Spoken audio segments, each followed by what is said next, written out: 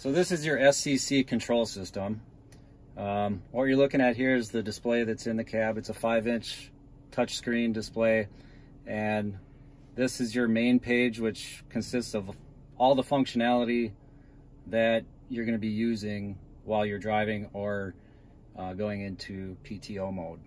So um, this one is this particular truck is equipped with axles, uh, push lift axles, excuse me, and uh, they display the pressures, and you can do your your pump and drive buttons over here. This one's also equipped with um, front and rear beacon lights and the uh, work lights.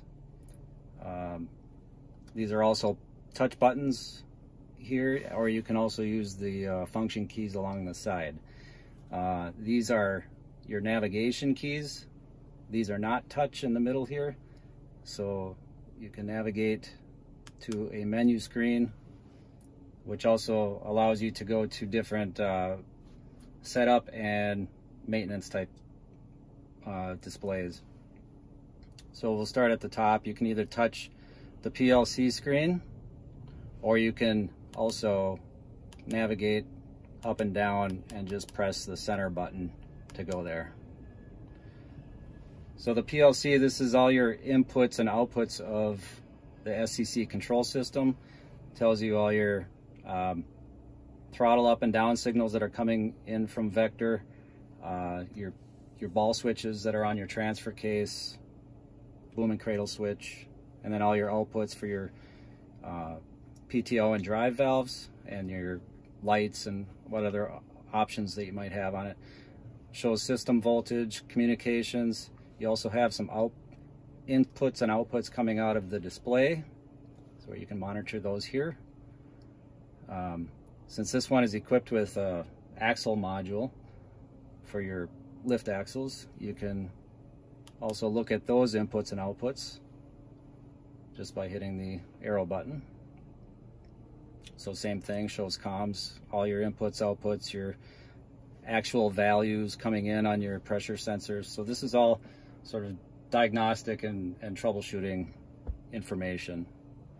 Um, you can go back to your home page or return to a previous page using this button or this button.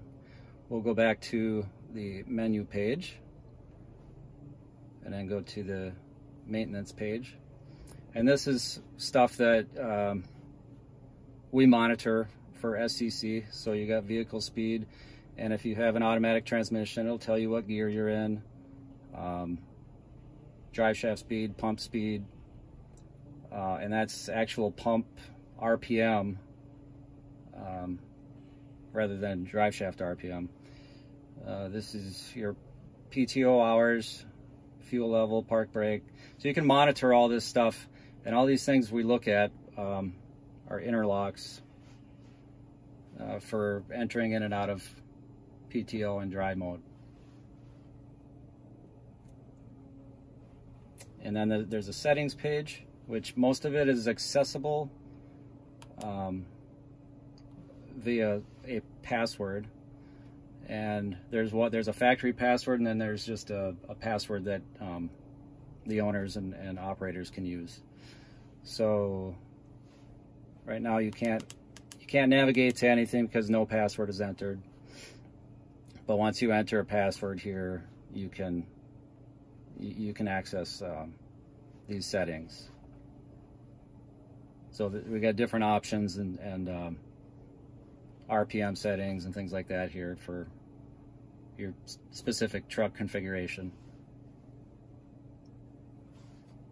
And back to the main page.